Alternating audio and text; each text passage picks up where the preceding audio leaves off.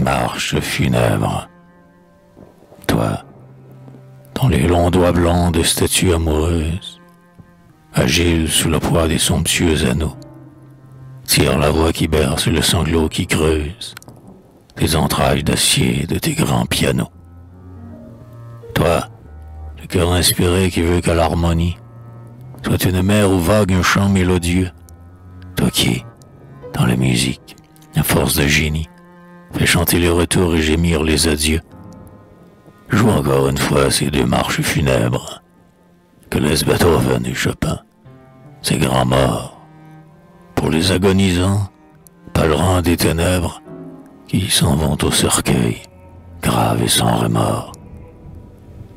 Plaque nerveusement sur les touches d'ivoire, ces effrayants accords, glas de l'humanité, où la vie en mourant exhale un chant de gloire vers l'azur idéal de l'immortalité.